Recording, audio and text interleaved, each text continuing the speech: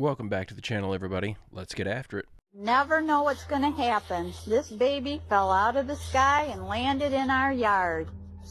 It's never boring on the Welke farm. Thank God there's no horses out or it didn't hit the house.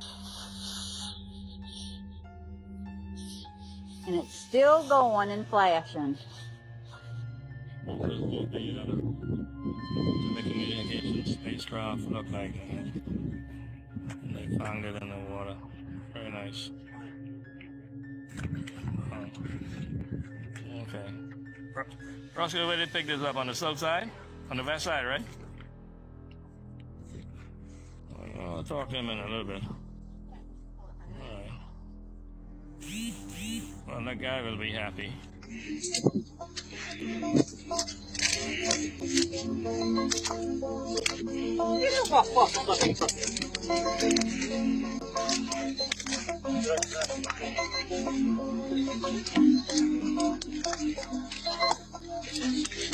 Esperança voa.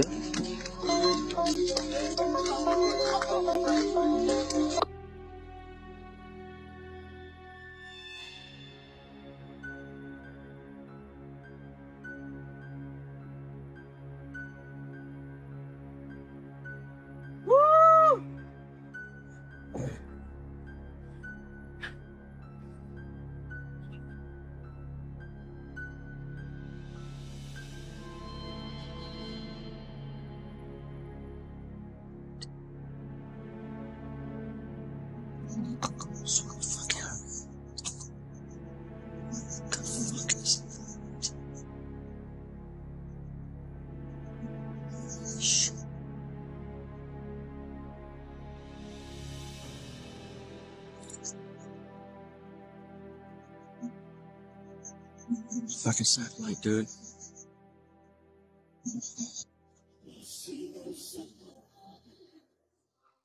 Forget it, Bart. It's so bright out you can't see anything in the sky except the Fox satellite. No, Lisa. Plans came crashing to the ground. The failed launch of a balloon carrying a multi-million dollar space telescope had onlookers scrambling for safety.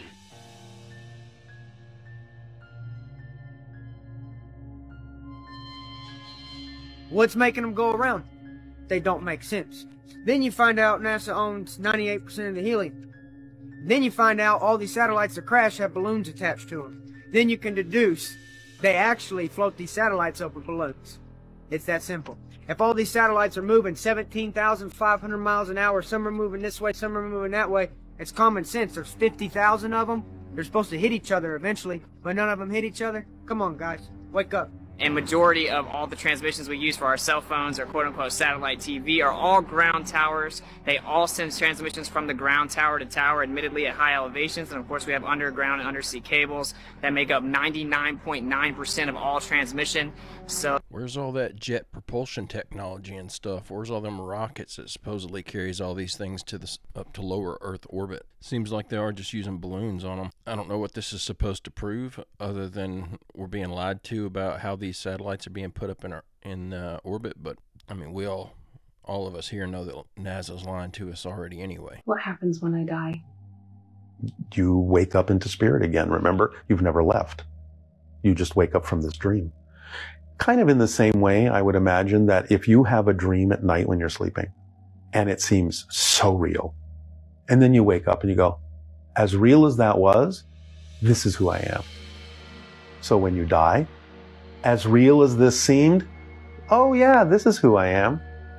I've just had this amazing dream and I'm going to learn from it. But this is me. And every level is probably like that. Oh yeah, this is who I am.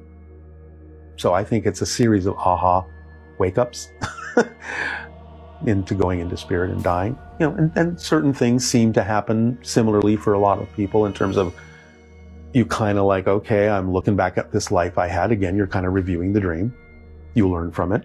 You might meet other beings that have gone on before you that are happy to greet you, crossing over again or waking up. Like, hi, you've been asleep. Hi, welcome back. Good morning. Um, and you have different possibilities. Time and space are way more flexible there You can manifest things probably pretty quickly, almost instantaneously, uh, and make them seem very physical and very real, even though they may not be. Uh, that seems to be typical patterns people report from things like near-death experiences. Um, so, but you know, it's I think kind of like waking up because this is a dream. So all our loved ones are soul groups, shall we say? Do we? You can have soul families, yeah, absolutely. Friends, families, why not? You have them here. There's no reason not to have them there, and they probably start there. Since this is a dream, the soul families really are probably more there than they are here, even though they can choose to say, all right, I'll share this dream with you and I'll have an incarnation. But in reality, the spirit is not in the body. The body is in the spirit. Because again, all you're doing when you die is I'm expanding my focus. I'm taking the glasses off, taking the tunnel vision away. Oh yeah. Look at how much more there is. Look at how much more I am. I remember now. I really, really like this idea. I hope this is reality. I hope this is the way that things actually work. Uh, but I like this idea of when we die, we just wake up and we're in a different plane of existence. And uh, the idea of soul families I find fascinating. The idea that maybe my wife is a part of my soul family, and in another life she might have been my sister, and in another life she might have been my father, uh, whoever her spirit, whatever whatever form her spirit decided to, to embody, but has always been in some shape in some shape or form connected to me and my current life.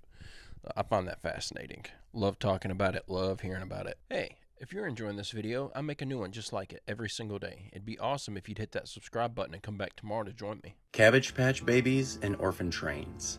I've got quite a theory for you, so hear me out. Cabbage Patch Babies, that's basically, have you ever heard of a homunculus? Homunculus is like, they have figured out ways they can grow people out of the ground. It's pretty disgusting, but it's a real thing. And so they figured out how to grow people in uh, basically a, in a cabbage pod. It's like the same as the pod people. And um, but they had to convince everybody that the world was a globe, of course. So that all ties into Tartaria. They wiped out everybody. First, they taught all the elders. They tried to get them get them to accept the fact that the Earth was a globe. Some did, and I think the ones who didn't were killed. And then, along with everybody in the population, and then they repopulated.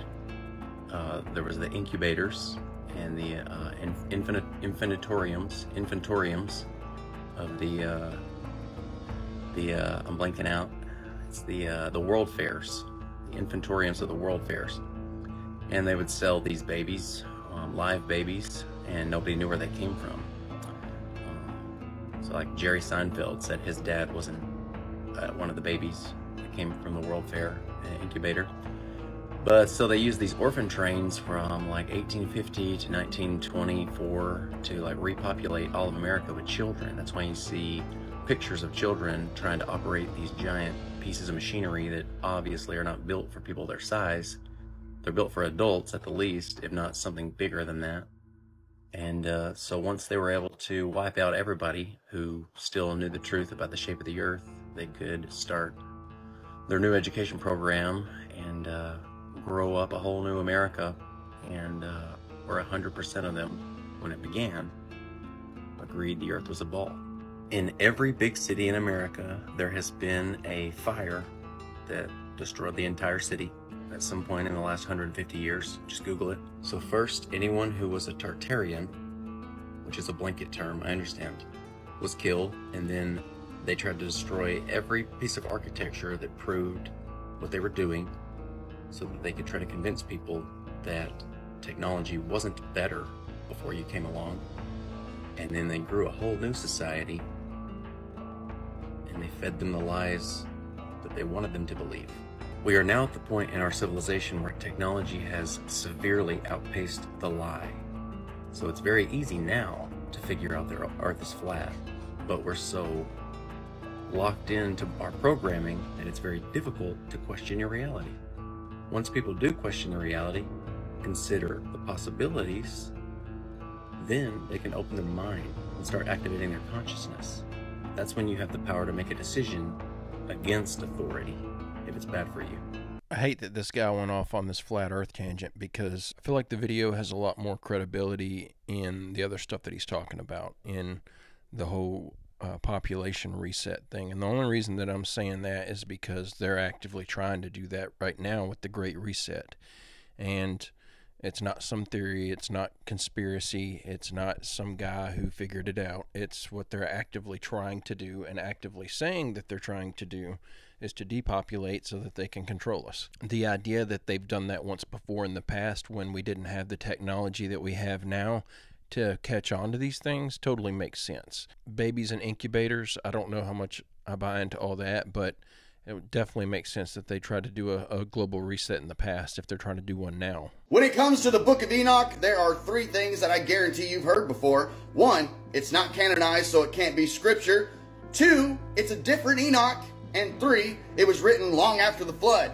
Well, I'm here to demolish all three of those. Canonization is the process by which books of the Bible were discovered as authoritative. So, is this person who they say they are, and did they hear from God? Well, we can all agree that this Enoch definitely did. I mean, he walked with God so closely that God took him. He did not even need to see death. And we all know that Enoch's genealogy. It's Adam, Seth, Enosh, Kenan, Mahalalala, Jared, Enoch, Methuselah, Lamech, and then Noah, right? Now, if you're a naysayer, I know two things about you for sure. One, you've heard these misconceptions from someone else. And two, you've never read this. Because if you had read this, you would have seen an angel sent by God named Uriel to show him everything and a bunch of prophecies of what's to come, everything about the cosmos, and so on and so forth. Then you would see that also Enoch passed down to his son Methuselah to hand down the generations for the whole world to see. Yes, this Methuselah. And you'll see in chapter 83 his grandfather's name, Mahalalala. Yes, this Mahalalala. All jokes aside, his genealogy, his family is mentioned all through the book.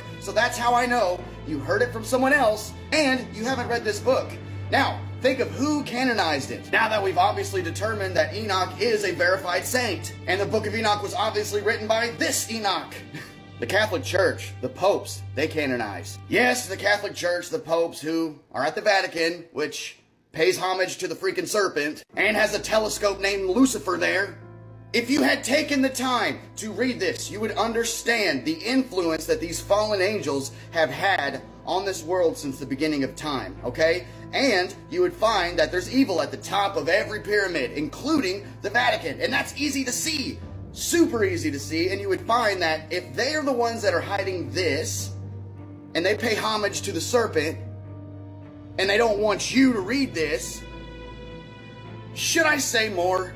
I cannot wait to get my hands on a copy of this. I feel like there's so much in the book of Enoch that refers back to canonized scripture. That, in and of itself, and the fact that Jesus refers to the book of Enoch uh, and quotes it, that's enough to show me that at least Jesus thought it was canon. If it was good enough for him, it's good enough for me. I'll put it that way. Until he collapsed.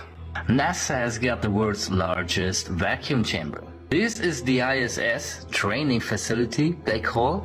Uh, it is completely underwater. I'm going to ask you why are they training here and not here?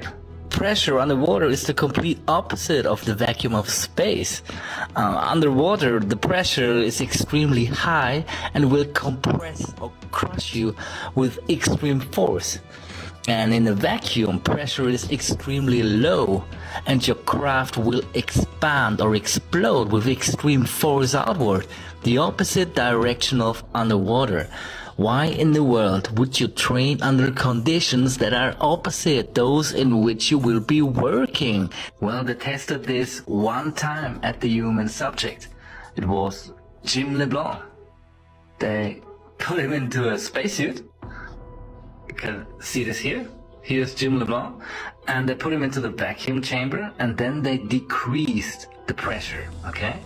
And uh, yeah, that's that was from the outside, from this little uh, vacuum chamber. It is from the 1960s around. Uh, and yeah, they uh, decreased the pressure until he collapsed. Yeah, uh, but he survived. Yeah, they, you can see the, they opened the door and uh, he survived. And the doctor came in and he was stabilized. The problem is he collapsed wh- while it was in the range of the low vacuum. So it is five levels above the pressure in outer space. Okay, and that was the first and the last time they use a human being as a test subject into a vacuum chamber. Know what happens when you put water inside a vacuum chamber like this here, as a pump, and uh, decrease the pressure? The water boils. So according to those points, it is impossible to put human beings as test subjects into vacuum chambers without killing them. In addition, underwater, moving around and pushing off of things will be much slower and tedious in a pool as opposed to the vacuum of space. At least if training is done in a warehouse on wires, there will be less resistance, which is at least closer to the complete lack of resistance in space. Water is the exact opposite of the vacuum. There is a great deal of resistance to movement underwater. It makes no sense to construct a full-scale model of the ISS underwater. An ISS replica could easily be constructed in a large warehouse or hangar. It would be easier to build, maintain, modify, etc. This is just silly to do underwater. The performance and integrity of a spacesuit underwater is the opposite of how it would perform and hold up in a vacuum. Training on wires at normal atmosphere would at least be closer to a vacuum than underwater. Real vacuum chamber testing would be the best, but again, training underwater makes no sense. Spacesuits, gear, tools, equipment, spare parts, and many others are all designed for use in space, in a vacuum, not underwater. Tools such as drills, wrenches, hammers, uh, bolts, quick release parts, um, would all behave completely different underwater. This makes no sense to train to use these underwater. It's just for the show must go on. Have a nice day. So we can't even put somebody in space if we had the technology to get them there. Another shining example of the big lie that NASA's telling us. That doesn't make any sense why they train underwater to go out in space because if you're in a vacuum, there's there is zero resistance. You're going to be able to move just as fast or even faster than you would here on Earth because there's no wind resistance or anything. Uh, you're just in the vacuum of space. So, why do they move so slow whenever we see these v- videos of them working outside of the ISS doing repairs and whatnot? Why are they always so slow moving? It's because they're underwater. We got to talk about this. This is a dry river in India, and it revealed these stones these ancient carvings in the stones. These carvings are called lingams, and in the Hindu tradition, they are very significant to their religious practice. These are in the Shamala River. Probably butchering that name, sorry. The pointy part is the lingam, the base is the yoni. You often see these with snakes around them, and sometimes even with bulls around them. Some of these are absolutely massive, and some are carved out of multi ton, single piece rocks. When they're inside of temples, you can often find them under these decorative ceilings. But if you find many of them in the wild, they look decapitated. So my man Praveen has done some investigating. Follow him on YouTube if you're not. A recent temple excavation revealed this. Underneath the lingam was specific metals in a specific configuration. They also found these iron spatulas that conveniently never rust. Here is what was underneath that lingam. Inside that pot is rice husk, so Praveen recreated this experiment and used a silver rod and an iron rod in the rice husk in a pot, and it created electric current. Putting a bunch of these together, he could light up an LED. Now, lingams are not exclusive to India. They are found all over the world, but I want to focus on Egypt. India and Egypt were close. Now, these are going to make a lot more sense. If you do a quick search for the Baghdad battery, you'll see this pop up. Egypt used this for electricity. You can find this on the walls at the Dendera temple complex. The word for bull is torus. This comes from the Aramaic word tor. The torus is the shape of energetic flow. The snakes represent vibration, most of the time from the sun. So containing the energy of the sun in a bowl is exactly the concept of a tokamak reactor in our culture. Snake charmers are magicians. They use magnets to magnetically charm the snakes. I'm telling you, India is the key. India is where it's at.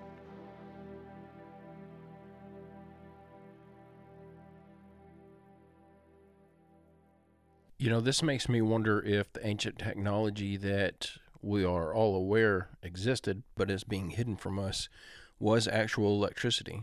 Maybe they just had a different way of producing it and uh, containing it, and that's what all these the Baghdad battery and and all of these snake-looking weird structures and stuff are. But maybe because they built all of this stuff out of stone instead of using metal like we do today to conduct electricity, all of the the big key components that would be a dead giveaway to what they were actually using this stuff for has just slowly withered away. In 1954, Admiral Byrd quoted Antarctica in the future would become the most important place in the world for science. Rockefeller was a big patron of Byrd's expeditions to the mm-hmm. North Pole oh, yeah. and the South Pole. Why do you think Admiral Byrd and the Rockefellers were so mm-hmm. much more interested in Antarctica, the South Pole, rather than the North Pole? There is a situation that began to happen during World War II where they discovered that the Nazis had went down to Antarctica and built a base down there, New Schwabenland. They were like, wait a minute, why in the world would they go to this desolate place? What's down there that they would want to go and go through the harsh weather and risk everything, risk even their lives to be down there and build a base? So he decided to fly down there. Now, there's an incredible story that was in, in uh, Admiral Byrd's diary that was found by his kids, where he said he flew into an area that opened up at Antarctica and he went into an area where it was lush and tropical almost.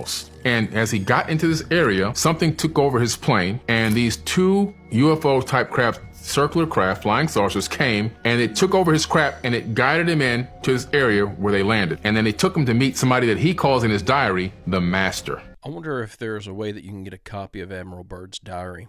I'm sure that you can read parts of it online, but I wonder if you can get like an actual full copy of it. That's definitely something I'll be looking into. I'm convinced, and I know that there's not a lot of evidence to point toward this being like verified or validated in any way whatsoever. It's just one man that I've never met giving his word, but it's in his personal diary, and it matches up with what he said on TV uh, with his discovery during his uh, explorations in Antarctica. And the guy was an admiral. Uh, he wasn't just some Looney Tune who happened to be in the right place at the right time and had a story to tell. Uh, he was a guy with a reputation to defend. And he told a fantastical story because he didn't know, in my opinion, that the government was going to want to try to hide that and call him a liar for the rest of his life. We are being invaded, except they've always been here. Look at this. This is the jellyfish alien. Look at that face. That's a gray. I'm about to show you a video where they enhanced the jellyfish video to find this gray. I had a huge, huge revelation a few minutes ago. So everyone's been saying the Spirit of God's been telling them to anoint their houses, right? Well, I had a whole bunch of premonitions that this year, 2024, is going to be the year that we are invaded. Is this right here why people are anointing their houses? In the 2024 prediction and in the premonition, that was before Miami. And now on TikTok, I'm seeing all these people who are randomly, all of a sudden, all at the same time, having encounters. Real quick, I'm gonna show you a clip of one guy's encounter, and what you'll find is he said the same thing that we saw with the jellyfish video, is that it went transparent, then back to normal, then transparent, then back to normal. Hey folks, it's John, the Salt and Pepper Prepper. Today, I had the damnedest experience, most unbelievable thing that could probably ever happen to someone. Most of you aren't going to believe me. I fought myself all day whether or not I was going to tell anybody. This morning I get up about 3 o'clock, make coffee, and go outside, take the big German Shepherd out. I go inside while she's going potty to get my coffee, and I make a cup of coffee, and I hear the dog is just going berserk. So I rush out the door to see what's going on. She can't be calm. She won't stop snarling. She stopped barking, but she wouldn't stop growling and she was to the end of her lead staring at this tree. We live in kind of in the woods here where we're at. This very tall, shimmering figure came out from behind an oak tree about 200 feet from my house. It was very tall. All I can, all I can describe it as is a shimmer. Could see through it, but it was kind of glowing, and it was a tall figure. And I go get my wife and drag her out of bed. She's happy. She comes, and guess what? Nothing happens. You know, it's gone. Whatever it was stopped. It's gone. That's just one of many, and now I'm going to show you where the jellyfish alien was analyzed, and it showed up with that great picture. By the way, remember this movie? The Purge election year? Makes you think, huh? What the person did was they took their original video, turned to an image they did some clarifying, some sharpness, some blur removing. They did not add anything extra that was actually not already there. This is what the image would look like, all cleaned up as it is. There's a Gray's face.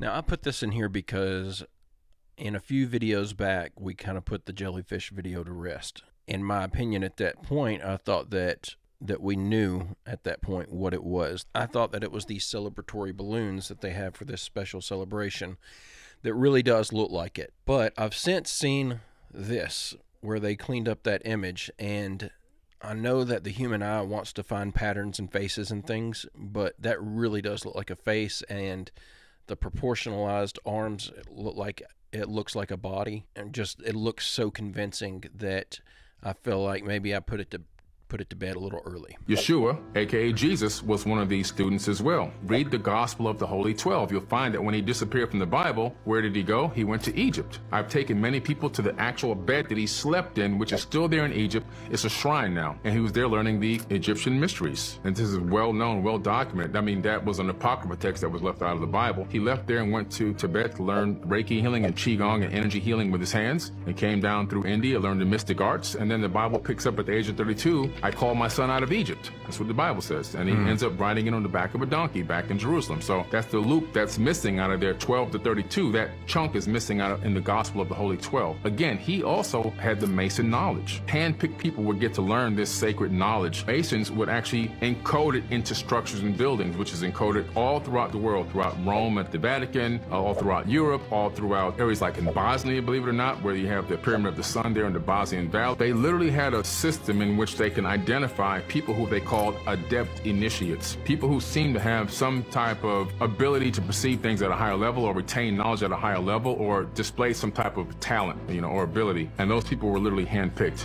So, listening to him talk about that Jesus was a Freemason, of course, sounds sounds sacrilegious.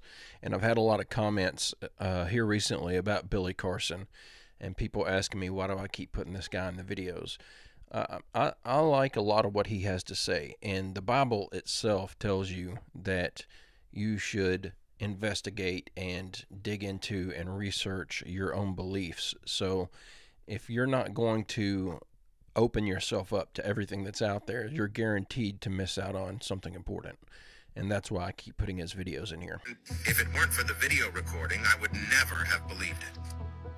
When the diver descended 100 meters underwater, apart from the small particles in the water, there was actually an iron pillar with a skeleton tied to it. Next to it were several wine bottles. The mystery of the underwater world surged in my mind. Even experienced divers with many years of experience were startled by this scene. As they continued to explore towards the mysterious zone, they unexpectedly found another skeleton at a corner, along with a yellow square cloth and a pile of wine bottles. It seemed like a carefully arranged setup, but what was different this time was the presence of some accessories and even some bowls and dishes. No wonder when swimming here there was a feeling of yellow particles. It turned out to be emanating from this place. The mysteries of the underwater world are far greater than those of the wilderness and nature, with many unexplored mysterious areas worthy of exploration.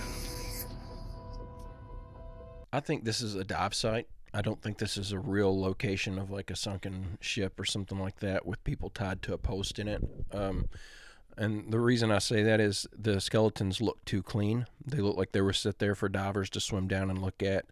Uh, I don't think that the heads would still be attached if they were if the bodies were tied to the poles, and they wouldn't be so tightly tied to it. It would be a lot looser because they would have been tied, I would assume, while all their flesh was still attached. If they had bottles of something that they were drinking there, but it looks like the bones themselves have been tied to these posts, which makes me think, all right, these bones were placed there after they were bones, so it's probably fake. That being said, that's the end of today's video. I hope you guys enjoyed the clips that I put together for y'all today.